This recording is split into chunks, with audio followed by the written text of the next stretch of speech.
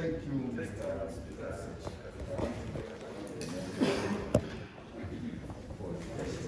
Speaker. An elected government has the mandate of people to make decisions, even if it means you make decisions on your feet as see fit. And then you can always review them. Within the wisdom of government and the information that government had, it was necessary to come up with those measures.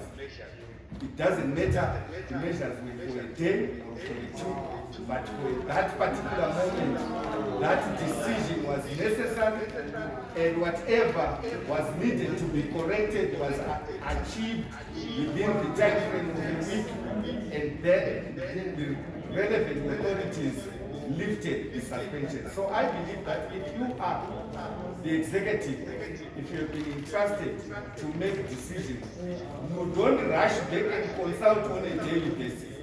The law that gives that executive power on those that are empowered to do that.